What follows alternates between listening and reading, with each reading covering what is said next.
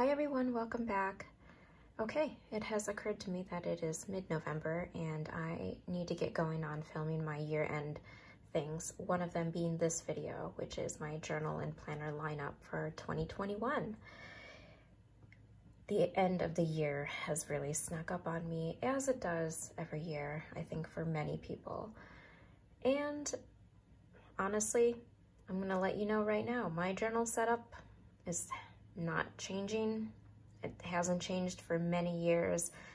It's been very simplified. Um, what I'm about to show you might seem like it's a lot of notebooks, but some of them, a good portion of them are kind of ongoing. And so it, you know, in the end, uh, isn't necessarily stuff that I use all the time. And I will get into that in more detail. But uh, here I am at the Kitchen Peninsula, uh, recording while my daughter naps. So hopefully I can do this all in one go. Currently, I'm drinking the Juniper Mint Honey Tea by Tazo. Tazo. Uh, highly recommend this one. It is delightful. It's fragrant. It's so good. It's an herbal tea. To me, it just smells like the mountains, and I love it. Uh, it's pretty much my favorite tea find of this year. Okay, journals, journals, notebooks, planners for next year. I'm just gonna go into the planner systems because, uh, you know, there's really not much to it considering where we're at right now with global events. I'm keeping it very simple. I did not have a budget for planners. Um, my budget for planners is pretty much non-existent, so I pretty much went with the cheapest. I did not get a Hobonichi Weeks as I wanted to. Um, I did not get a Leuchtturm to go back into bullet journaling, mostly because ah, I'm not at the point in my life where I can dedicate time to formatting, even if I do the simplest formats. So I kind of needed something that was already formatted for me, even if I have to fill in the dates of. So I got this on clearance at Marshall's. It's just the smallest, I think it's like a pocket. I don't even know what size it is. The sizes are listed right here. This is the size that I went with and it's a, got a month at a glance, undated, completely undated. Even the tabs are undated, so I can just use existing stickers that I have to use it uh, and mark it. Uh, it's a week on two pages nothing really fancy. It's, uh, I think every week has got a little something different. So the week on two pages, but then there's a little box right at the bottom here that says thankful for. The next one is blank. Um, the next one is word of the week, and then a little graphic. And I got it for 450 um, I can't get it any cheaper than that. So I'm glad I waited on a planner, um, but uh, you know, it's not the most ideal planner for me right now, but it's gonna work because uh, my planner for my personal life is pretty just functional. Doesn't have to be super pretty. This type of paper will take gel pen pretty easily and uh, I plan on using my Papermate Inkjoys for majority of my planning, but uh, if you follow my, me, you know that I'm not really strict with my planners. So um, I've never used a happy planner for a planner planner. I had a happy planner for a while, years ago, where I was interested in kind of like the Erin Condren setup, and that was lasted only for a while because I just got so caught up in the decorating. But this is just gonna be purely functional. So that's, that's my planner for next year. And then I have this planner that I also got at Marshall's and it is going to be my meal planner. It's the same concept as uh, my meal planner right now, only this one isn't dated, so I do have to date the tabs. But uh, what I like about it is it's got the vertical set up broken down into three different rows. And what I like to do is I have the top portion as my breakfast, middle is lunch, and then the bottom's dinner. On the side, I have all my prep notes. So if I need to thaw things out, I need to make notes of specialty ingredients that I need to buy that I don't have on hand in my pantry or in my freezer or fridge. I make notes of that there. And then um, typically there's also like a section right before the month starts that could either be for the previous month or the month following. And what I like to do here is um, in my current meal planner, I use this section for keeping track of my grocery expenses. So I'll just actually list out all of my um, receipt totals here, and then I just add it up at the end of the month to see where I'm at in spending for groceries, because that's probably our biggest budget killer right now is groceries. So that's kind of how I use this page. Um, so there's a bit of prep work for these two planners just because of everything being undated. But that's okay. Um, once I do it, it's done. And I could probably find existing stickers to tab out the months and all of that. So there it is. Um, unfortunately, I just noticed that this is falling apart, the lamination. So I'm wondering if I can take my heat gun to it and seal it up. I have no idea. Otherwise, I'm gonna have to like washi tape it together because it's doing that. So that's unfortunate, but whatever. It's a meal planner. It's not going anywhere. It's staying home. Okay, my main journal. That's going to vary. You'll typically see me post about my traveler's notebook, the camel. This is my absolute favorite cover. I've pretty much uh, use, I pretty much use this one exclusively if I uh, go back into Traveler's Notebook size journaling. But uh, my personal journal will just vary with whatever notebooks I have left that I'm going to use up. Um, so it'll be this and then several other notebooks until I use up all of my existing blank notebooks. And you can see more about that in previous videos that I've posted where I do check-ins of things that I'm using up, all of that. And I'm very happy that I'm getting through that stack. Uh, it's reduced greatly this past year. So that's my personal journal situation. The other main one that I use pretty much daily is going to be my five-year journal. And then this year I get to start this one. And this is a Q&A a day for moms, 365 questions. So what you do is you date it yourself and then you just write one or two lines a day. I don't know if I'm going to necessarily use the prompts every day, because, um, you know, different things might happen that might not fit, but uh, I do find that now that I have a child, um, my little summarized lines are pretty much about my daughter. Just little tidbits and memories of things that she's done and said and you know, all of that stuff. So I'm excited to start this new five-year journal and it's the same size and format as my previous one that will end this year. So that'll kind of sit nicely next to each other eventually. So that's gonna be my new journal that I'll start in 2021. And then this one you've heard me mention as well. This is the Olive Traveler's Notebook, which I use to journal for my daughter. I keep a journal for her, and this is what I use to document her growth, her funny moments, her cute moments, everything, memories. I stick in tidbits of things that have happened stickers of things, just all sorts of memorabilia. It's like my scrapbook that I will give to her one day. And I don't necessarily journal in this every day, but this is more like a weekly slash monthly thing that I do where I kind of recap certain moments. And the, this is something that I use in conjunction with the five-year journal. My five-year journal is something that I can use to recap. So when I'm looking back and catching up in this journal, I'll use my five-year journal. So those are great tools to have in reference to each other with.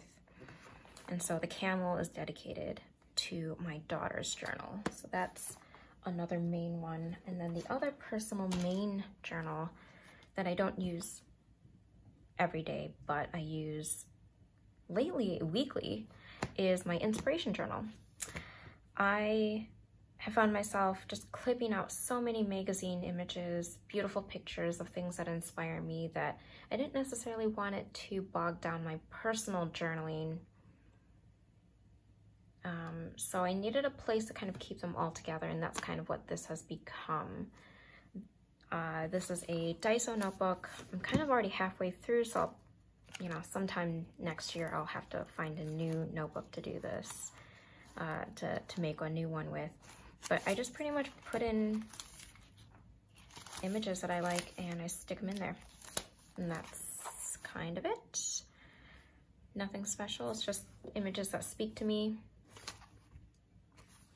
I like to flip through it once in a while. If I'm just feeling a little bit of a, you know, writer's rut. And it's just nice to look at, reference, and uh, a place to just keep all these beautiful images that I love. And um, there we go for that main portion of journals and planners. Now, the next few notebooks are things that I've had for years. They're kind of ongoing, or at least for the past year. This is the Brown Traveler's Notebook, which I use to document things for my husband. So it's basically the same idea as uh, the journal for my daughter. I know get, people have asked me, like, how do you journal for your husband?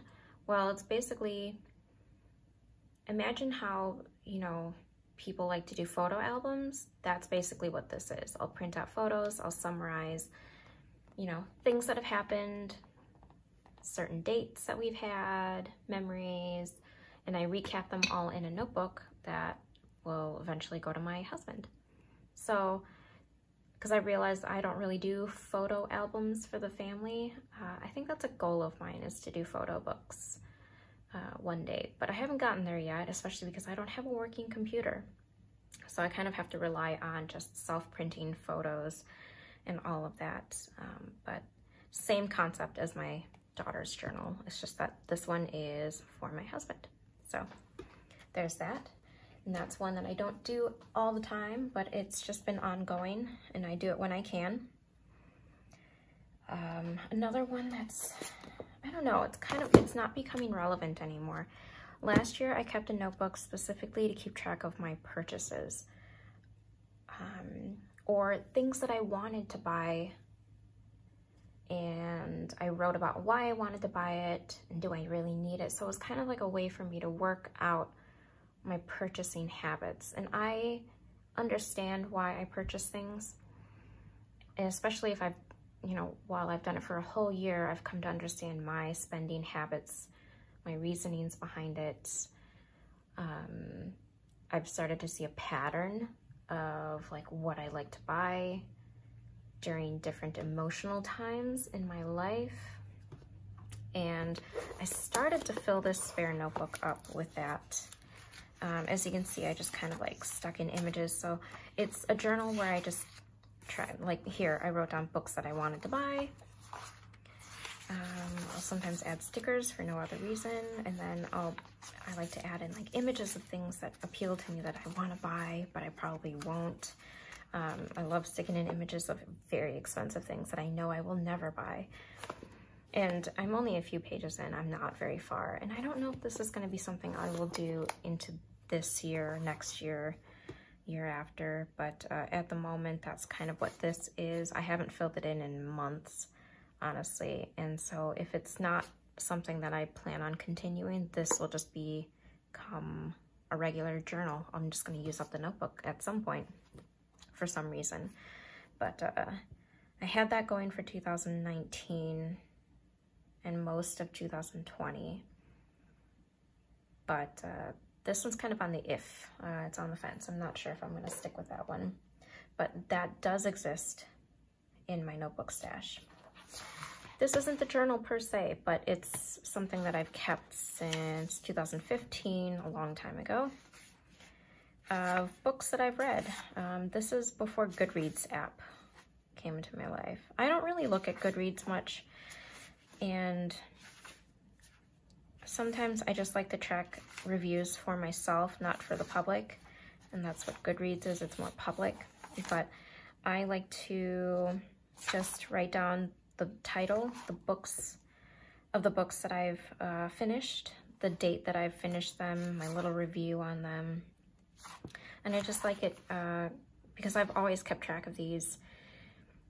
I don't remember where my old one is, but um, it's just been nice kind of tracking since high school how many books I've read each year and I kind of sum it up at the end of the year. So um, ongoing, not really eternal. It's just kind of like a little notebook that I track. So I don't really count it as an actual journal. And then finally, this is gonna be a new one. I've pulled out my largest notebook. It is a lined notebook. Unfortunately, I kind of wanted it to be a more of a sketchbook, but I don't have a sketchbook in my stash. And I still wanted to use up a notebook from my, um, from my shelf. I'm gonna need a notebook to track and plan for my next Halloween costume. It's a very elaborate costume. It requires a timeline. It's full on cosplay. And uh, if you followed me for a while, if you've seen my recent videos uh, and my Instagram post, I take Halloween pretty seriously, which is funny because we have nowhere to go. We, we weren't going anywhere, by the way. We were practicing social distancing. Uh, we, we dressed up, we got our photo, and we changed back into comfy clothes.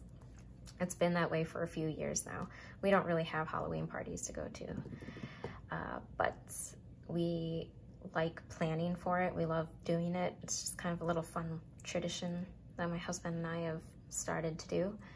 We've done it for a few years now, and the next year is going to be a, a huge challenge. Uh, I wanted something that was more than just makeup and an outfit. I wanted something where I have to build it from scratch. So the next costume that I have requires a lot of attention to detail, a lot of planning. I have to map out when we need to finish certain things in order to stay on track, in order for the costume to be ready to be revealed on Halloween.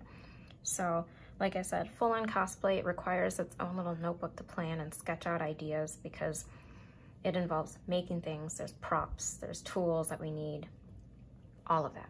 I'm very excited to start it. So uh, that's what this notebook is going to be. I wish it were a sketchbook. I wonder if I have a sketchbook somewhere, maybe like buried somewhere in the basement. If I do, I might switch it out, but there's gonna be a notebook dedicated to that project specifically because we have two costumes that we have to build from scratch.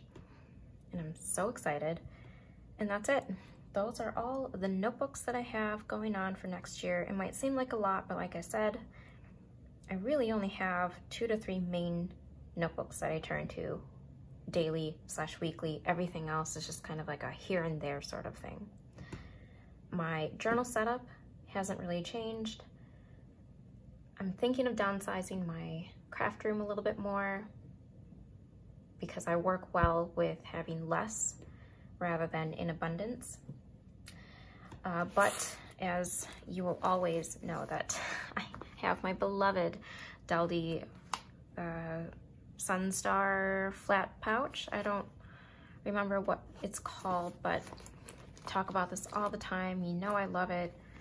Uh, I'm in no way sponsored or paid to talk about it. I just genuinely love this pouch.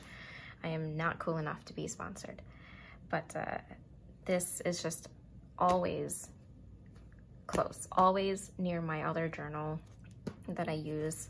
Um, it's in my little basket that I carry around in the house. Use it all the time. I can't say enough good things about it. Um, oh, let me know if you guys, or what, if any of you have used the new pouch. They came out with a newer one where it's kind of, it looks like Neapolitan ice cream where it's got, you know, one color here, one color here, one color here, and then there's like a front pocket slot that you can kind of stick things in. Um, so let me know if any of you have tried that um, and if it's advantageous to have that pouch. I'm not interested in buying one because I already have this one and I love it. It functions perfectly for me, but uh, I'm interested because I recently saw that on the site. So there we have it. If you have any questions, let me know. Let me know what you guys plan on doing for 2021 for journaling. If it's simpler than mine, if you've got, you know, main journals plus some ongoing journals. I'm sure I'm not, I'm not the only one, but uh, I hope you are all doing well, staying safe. Happy journaling. Thanks. Bye.